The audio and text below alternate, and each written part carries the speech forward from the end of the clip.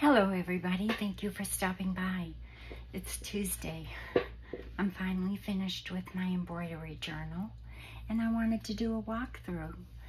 So I hope you're all doing well and having a wonderful week. I am. Um, so, um, here she is. I'm really happy with her. I really enjoyed working with all of French Cottage Shabby's um, digitals. I had a really good time. And um, the little story behind this journal is this is a famous embroidery designer who traveled all over France and Europe selling her designs. And so um, this is Francois. And um, what I did was I um, printed her on cardstock. And here I just lightly chalked um, a little bit of pink in her hat but she's black and white. And then I used some gold foil. And then I put this netting. Um, it's a polka dot netting over the top. And this is a paper flower with a um, mother of pearl button. And then I just um, tied it together because she got, as you can see, she's gotten pretty chunky. so anyway, let's begin. So um, I tied her, like I said, with a gold satin um, ribbon. And um, it comes off like this. Now, you can slide this right out if you so choose. Okay? In here, I have a journaling card. If I can find it. And this is from her ballet collection. And I did gold foil around her as well. I don't know if it's showing up in the camera or not, but it's really pretty. And I backed everything with a pearlized, um, sort of like a cream pearlized um, cardstock. So that's her. And she slides right in here. And this was one of the girls that um, Francois would do embroideries for and show all of her customers the different things that, you know, she could um, do for them. She was a very famous designer and sold a lot of her embroideries and um, fashion clothing, primarily for children. So you open it up, and I have a piece of mulberry paper here which is very fragile, but I love it. It's sort of like a lavender color. It looks kind of white in the um, in the camera, but it is very fragile, but I love it. And so over here, we have the other side of that paper bag, which is here, okay? But this flips open. And in here, I have a um, journaling card. And what I did on this card was I used gold rub and buff. Okay? And I love this. I use it on anything. It's it's primarily for like frames or, oh, I have some right here. It's right here if you're interested. And this is the antique gold. But I love it. It does take time. You have to be very careful and then um, once it's finished, you just go over it with like, you know, a soft cloth. I'll show you. When I do my frames, I do it the same way as I do my paper. You just go over it like this really well once it's dry completely and it buffs it. And that's what brings out that antique gold okay? So I just did the edges lightly, and as you can see, that really makes it shine nice. And I just put it in this little applique that I had, piece of applique pocket. And then in here is a tuck spot with a, one of the other children that she designed for. This is actually out of her ballet collection. And um, this is what she would show her customers, things that she could make. Okay, and I use the gold foil um, on her as well. And she slides right inside here. And I did size these down. And then in here, we have a little tag that goes with the embroidery kit. And this envelope was a freebie at Easter time, but it's on Daisy's um, Facebook site. If you're not with French Cottage Shabby Daisy on Facebook, she has a lot of freebies. She's very generous. And then I don't remember what kit this came from, so I'm not going to say right now, but I'll leave it in the description box below. I did size this page down for writing. Okay, and this has a lot of laces and fabrics. It's so soft and beautiful.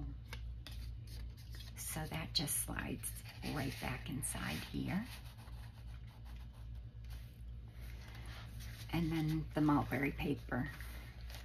And then this is the first page of the embroidery, I think embroidery one. There's embroidery and embroidery one. And then this page. And I did make a mistake when I printed this page, so I cut out all these pieces and used them throughout the journal. This is just some music paper.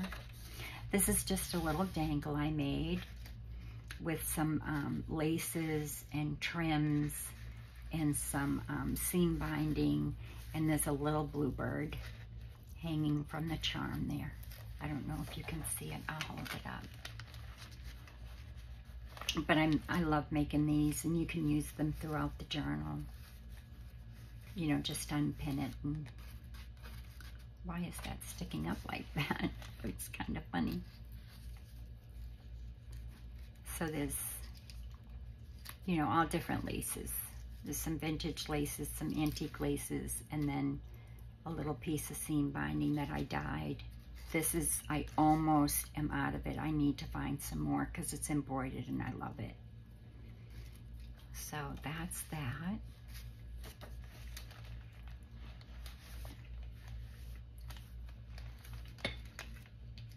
And then you turn the page. This was an envelope, but I wanted to use it for writing. This is one of my um, lace master boards. This is just before I cut it up, I scanned it. In here, this to me looked like sort of like a receipt. So I cut one of those little pieces that was a misprint and I stapled it to this receipt. And then this is out of one of my antique doll um, patterns from the 1860s. And I just put, it's um, by Trundle Threads, Trundle Tracks. So I stapled that onto the back of it for whoever gets this journal. I will be selling my journals on Ko-fi.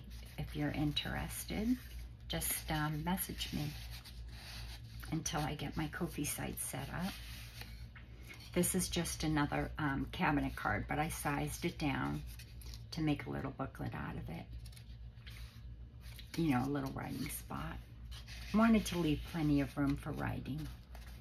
This is a waxed envelope and it's just got a couple of journaling cards and a postcard. Yeah, so this goes this, way. well, it doesn't matter. This one goes this way and this way, and they're sized down as well, and they're backed. and they slide right in here. And as you can see, you can see through it.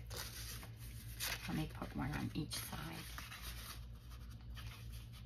Once you wax it, you can see through the envelope, sort of. And then on this side, I have this um, paper pad. It's called um, Threads but I don't have much of it left. So I made an altered paper clip. This is by, um, it's inspired by Gina from Firefly Studio 67. I'll leave her link in the description box below. She's doing a fabulous 101 um, with tags and all kinds of things. So um, this is just a little tag that you pull out the side and you can write a little quote or something on the back of that. And then I put some lace here. That's antique lace.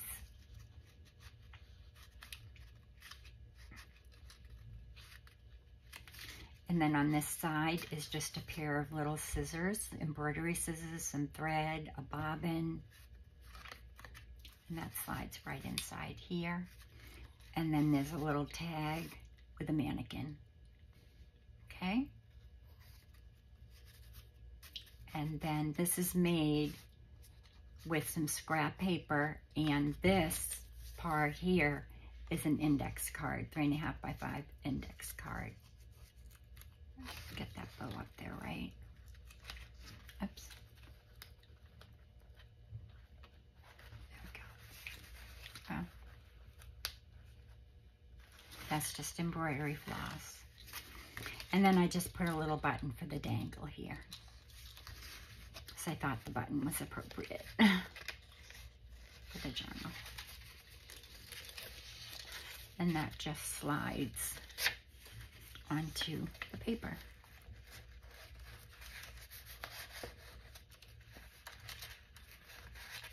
so. And then this was another one that um, was out of that paper pad. It says handmade with love. This is just a journaling card that I, um, I think this is from one of her newer kits, but this is wax so you can see through it okay? And I backed it onto the um, cardstock, the pearlized cardstock. And as you can see, once you wax it, you can see through to the, you know, to what's behind it. Some music paper of daisies. In here, this was an envelope that Daisy had given as a freebie a long time ago. And I don't remember what kit it's from and the needles and threads were out of that um, paper pad that I had. So I put in some vintage blue buttons and then it had this card, which I had to cut down, but it's very sweet and it's got place for writing on the back. And then a spool of thread and a needle. And then this says, my soul is fed with needle and thread. So I made a little sewing basket out of it. But I just thought that was really cute. I, I was so happy I remembered I had that. It took me a long time to find it in my files, but I found it. And then, like I said, the needles and threads came off of that other um, paper pad. And then these buttons Daisy had found when she was out thrifting and she scanned them. So what I did was um, I shrunk them down to 50% and then I put some uh, glossy accents on them. And then I used gold rub and buff all around the edges with a Q-tip and then buffed them up once everything was dry. And then I sewed them on and I put buttons on the back. Oh, and this came off of an older vintage um, button card. And it just says 29 cents. So I thought those came out really pretty. I love them. It was hard to choose because there's, um, let's see, six, I think there's nine total buttons. So I use those. And those go right inside this pocket that comes with the embroidery kit. And then she also comes with the embroidery kit, just little thread there. And then for the dangles, I just used little um, mother of pearl buttons here and here. But she is so beautiful. I wish I didn't have to put the thread down the middle, but it's okay. She looks fine. And then here is another music page. Um, this flips out so that you can have this all for writing. And then in here is just a little tag that came with that threads kit. It says sewing is life.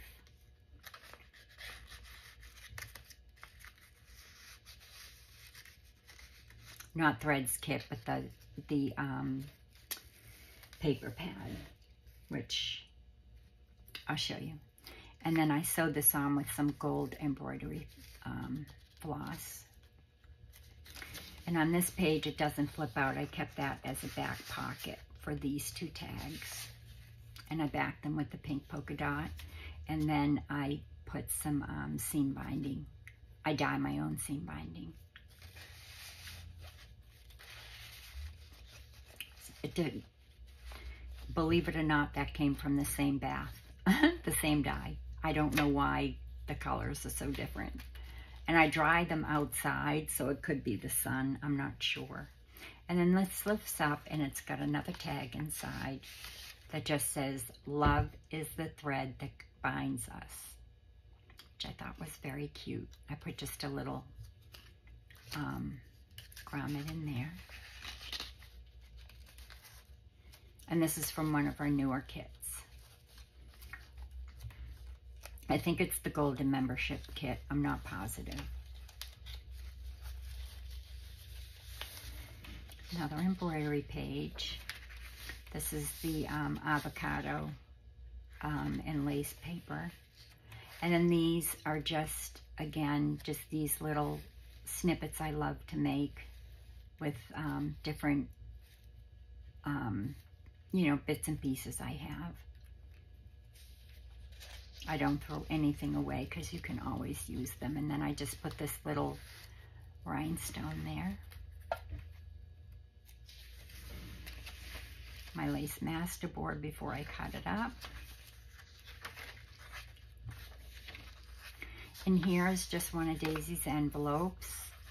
And, uh, and I just stamped on it with some gold um, archival ink. And it's on tea stain paper. And this is just a cabinet card, but I sized it down. So that's the back of the cabinet card. That's the front. And then a postcard. And that just slides right in here. Isn't she adorable? So sweet but yeah, this this woman was very, very famous, and she would, you know, design primarily for children. In here is a postcard, and um, I waxed this. I don't know if you can see the polka dots through it, but it is, I can see them. I don't know if you can.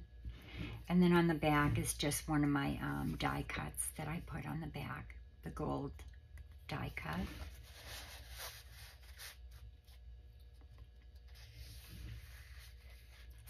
Uh, one of the background pages from the embroidery kit. And that mulberry paper again, which I love, but it's just so fragile. But I love it. I mean, it's not real fragile because you can't tear it. It's very, very difficult to tear because it's got so many fibers in it. I don't know if it's showing up in the camera, but it's beautiful. And then here in this pocket is a little um, envelope that I made. I used some fabric and some lace. And um, inside here is just um, a little journaling card. And this looks like sort of a um, letter that she wrote to somebody um, for what is coming due, their bill, um, what's coming due to her for things that she had purchased. I mean, things that she sold them. And that slides right back inside the envelope.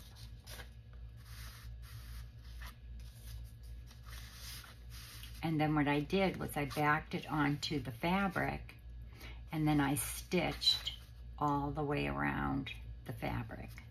I put the slit in first so that once I split, you know, sewed it all the way around and I reinforced it with some cardstock here and behind here as well.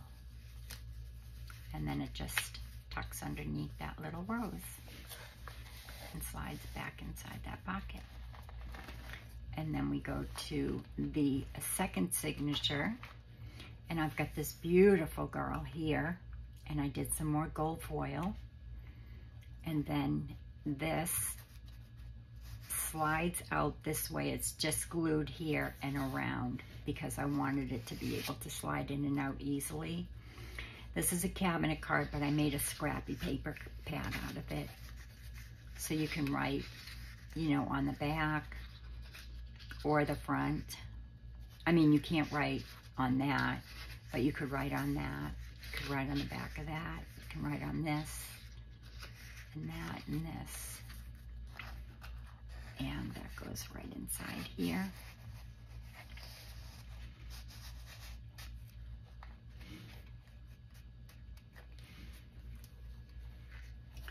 Some more mulberry paper in pink. I'm so glad that I did the tissue paper. I think it looks so nice. It really looks pretty. And um, Daisy from French Cottage Shabby, she paints all of her um, paintings and then she digitizes them. This is just one of her blue papers. Another cabinet card, but it's sized down. And then another one that I did the um, gold foil on. And I put a um, gold die cut and did some stenciling. And this is some blue insertion, uh, some insertion lace that has a little piece of blue ribbon that I put through it.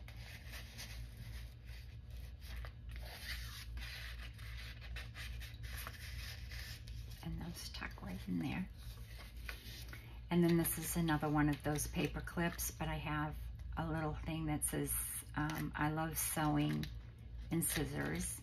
And then these are all Daisy's papers. This is just, um, I don't, it's just a scrap I had. Goes in there. I know the backing is from her wallpaper kit. I mean, from her wallpaper she gave as a freebie. And then the little bird is there.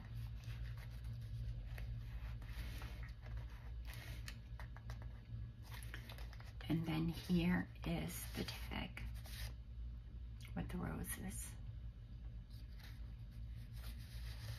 And that's just embroidery floss right here.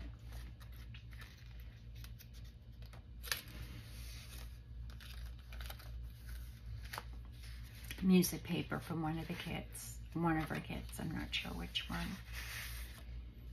And this one is just a scrap I had, so I made a little journaling spot out of it and that's on linen paper.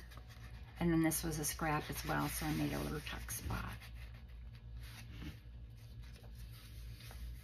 This is the part that I embroidered on the paper. I think I did a video and showed how to how I was going to do it. I didn't do any of the flowers down here or up here because I didn't want to take away from all of this. I thought it would just be too busy. So I just embroidered this and then flow stitched it. It's not really embroidery. And here is the little book that I made, um, the little needle book. And I had it inside here, but the two of them together wouldn't fit inside. So I'll use this for something else on another project. But I love how this came out. So you just open it up. I collaged some of these pieces. It says New York Embroidery House that's where she um, was her main base, but she traveled all over France and Europe. And then um, this is just a vintage quilt that I used for the pins and the thread. I used some um, sewing paper. And then these are just some vintage and antique laces. Some more. And then another one of those pieces of embroidery trims. So pretty. And some fabric and some lace. And then this is from an old sheet, a vintage sheet. But this is something you could definitely put in your purse, you know, or whatever. And then this is just a bunch of pieces, scraps. I fussy cut the flower from that other page because I misprinted it. And then I collaged the whole back of the card with those little pieces. And I made a little fabric card out of it. And the fabrics can come off very easily. All you need is a seam ripper because I used the longest thread. I mean the longest stitch. So as soon as you, and I didn't back stitch it, so as soon as you take that off, the fabrics can come off. And then it all just tucks neatly into here. I love this little book. I want to make like a dozen more. And then I just tied it up. I always go around twice. It's easier to tie it.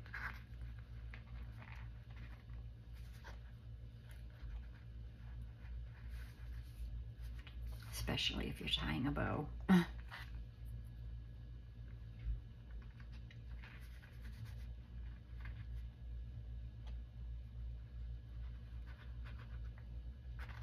There we go. And I put a little um, pink button there. And it slides right in here very nicely. I was surprised. It wouldn't fit, it didn't fit good with the, um, with the envelope, but it fit perfect with that. Parchment paper. This is another part of another kit. I think this is one of her newer kits from the Golden Membership Club. This is um, the center page of the second signature. And again, I just used some buttons for the little dangles. And then in here is a little postcard. And then in this pocket, it's another cabinet card, two of them, but I sized them down so that it could be writing. Okay.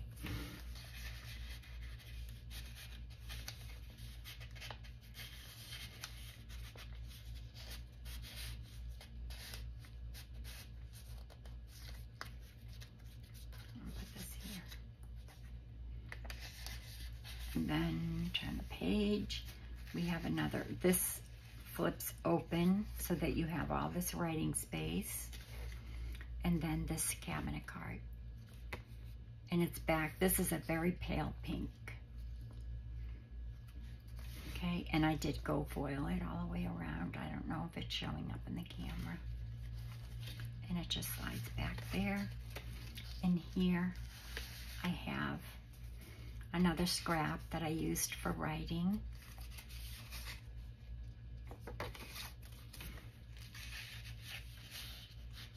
And this is another one of Daisy's envelopes. I just used the stamp from one of her kits.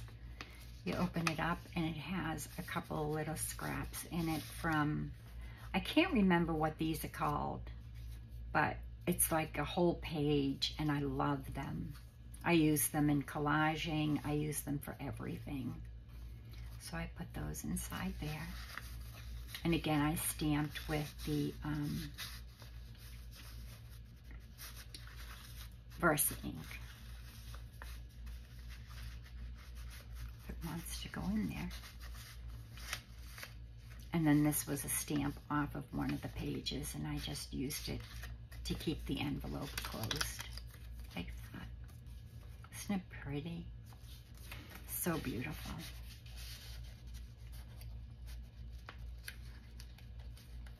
I hope she gets to see this today. She's taking care of her grandma in France, so I don't know. It's getting late. Well, it's 3 o'clock, so, but it depends on what time this will go up. I have another paper clip over here, and I just have a little blank writing card. And then, um, let's see, that goes inside here.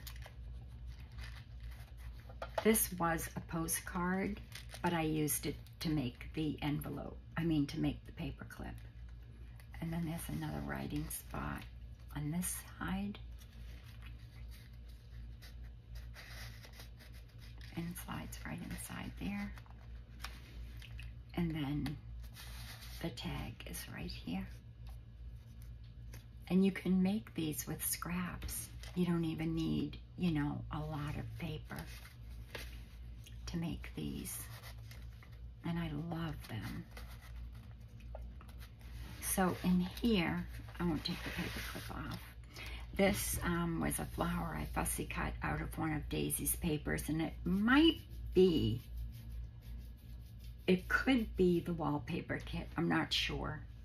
But I used a fabric pocket, and what I did was I put the fabric on, and then I stitched all the way around it, but I only used a straight stitch here and here so that I could fit things into the pocket easily. And then I used a zigzag stitch, and it's on two pieces of um, French book page. And then another one of those scraps, but I turned it into a little postcard. And this I waxed. That's why you can see through it. And on the back, we have a beautiful, um, this is waxed as well. And then it has another little tag in it from the embroidery kit.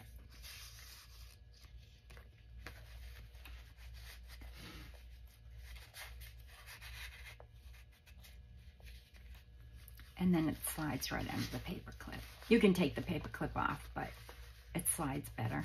I mean, it slides easy, so I don't, I don't keep taking it off. And I put just a little, um, it's like a spool of um, embroidery floss on that one.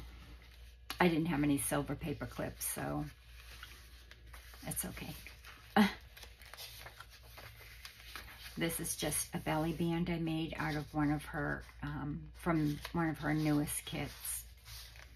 And this was a scrap, so I made a little journaling card out of it.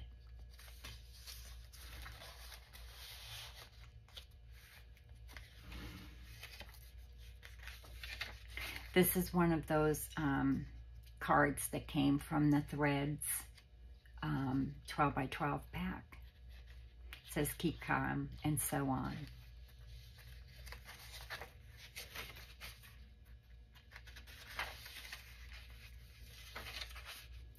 And almost at the end. This is the one that I did the slow stitch around after I waxed it. And then I backed it with that pearlized paper. It slides right in there. And then we are back at the beginning. And again, this slides through because I put it on some squares, you know, foam squares. So it slides right back through. Maybe. Well, I know it does because I did it.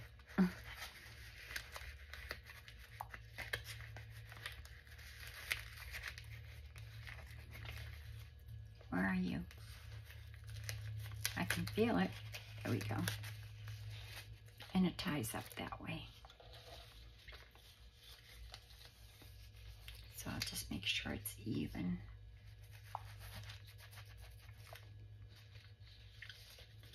And that is the end of my embroidery journal. Um, my embroidery slash fashion journal.